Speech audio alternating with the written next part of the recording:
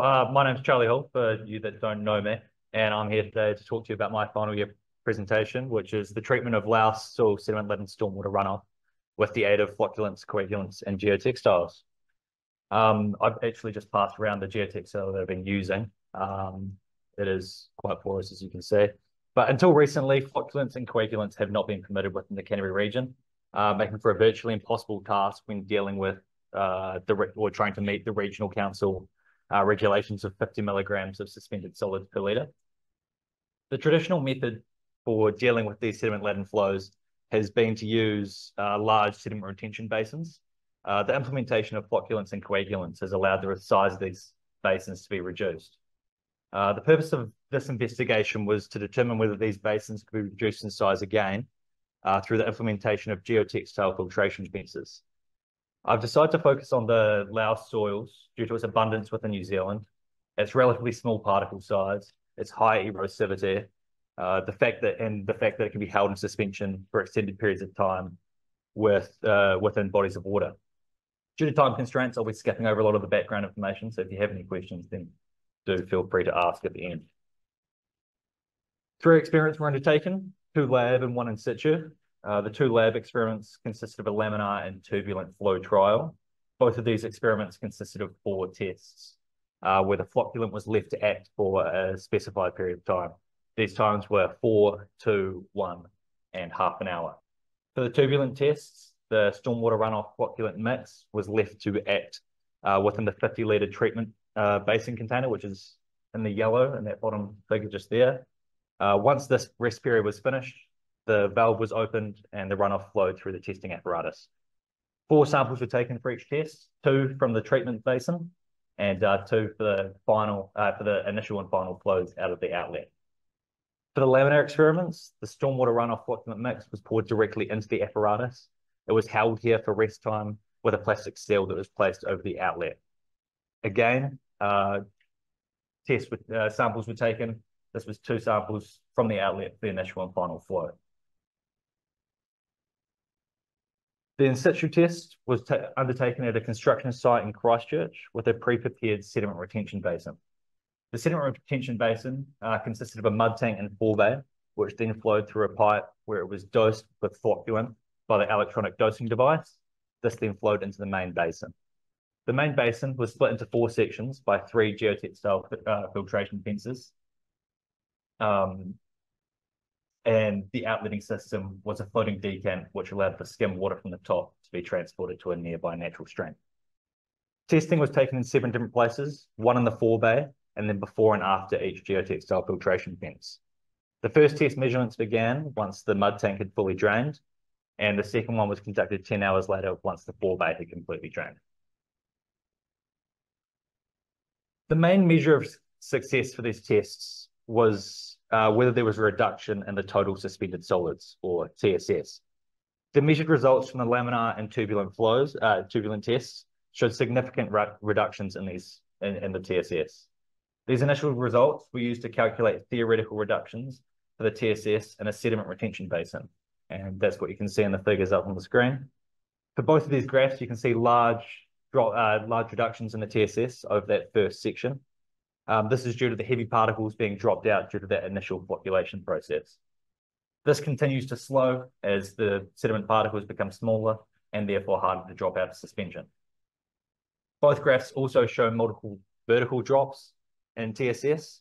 This is where the runoff has theoretically come in contact with a geotextile filtration fence, uh, which has removed the suspended solids and therefore decreased the TSS. This shows that geotextile filtration fences do theoretically have the um, capabilities of removing significant amounts of suspended solids uh, from the sediment-laden stormwater runoff. Again, for the in situ test, there was a large initial drop in the TSS. Uh, this is again due to the heavy particles being dropped out due to that early flocculation. Both tests also show multiple vertical drops, um, as this is where it was observed that the runoff had flown into a geotextile filtration fence, again taking away uh, suspended solids and decreasing that TSS. This definitely correlates with that original uh, theoretical lab tests. It's also important to note that the testing equipment that I had for field testing had a maximum uh, upper limit of 150 milligrams per liter. And that is why that top blue line for series one uh, does look like it's just been capped off there. Uh, it's also shown, and I'm sure you've seen, that there are increases in TSS through some of those basin sections. Unfortunately, when the sediment retention basin had finally been built and I could get in there for some in situ testing, there were no significant rainfalls. So when it finally did rain, I had to take my opportunities and start testing. Um, there was a relatively small amount of water that flowed into the sediment retention basin. This had an overall depth of about 100 mil. And due to these low volumes in the basin, the soil particles weren't able to drop out of suspension efficiently enough. Uh, as well as this, the runoff was flowing over an unused basin bed, which still had loose particles. These loose particles were then picked up by the flow and resuspended, all contributing to an increase in TSS. The geotextiles uh, and the laminar te lab tests had reductions of up to 115 milligrams per litre. Uh, the in the turbulent test, this went up to 125 milligrams per litre. And then this was all backed up by the in situ tests where the geotextiles had reductions of up to 350 milligrams per litre. While these tests weren't perfect, the results show the reduction capabilities of geotextile filtration fences, indicating that the implementation of these filtration fences will reduce the, uh, the size of sediment retention basins. The tests that I performed have proven to be a solid starting point, uh, but I have three main recommendations for further study. The first is the use of high-end lab equipment. This would ensure that the measurements taken are accurate and reliable, uh, while also allowing for the capture of the entire range of results. The second is the use of a lab apparatus designed by a man called Eduardo Oliveira. Um, this is just more suited to the final sediment retention basin. It's got a rectangular uh, flume and interchangeable uh, filtration filters. The last one is to have more time to wait for a significant rainfall. This is relatively easy, but as I had time constraints and I couldn't wait around, uh, I couldn't.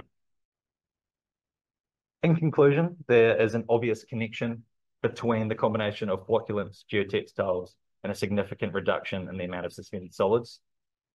When comparing the geotextile filtration fence's ability to remove these suspended solids to the standalone basin sections, it is estimated that a single layer of geotextile filtration fence can re remove the same or even larger amount of uh, so, uh, solids than 200 cubic meters of open basin volume.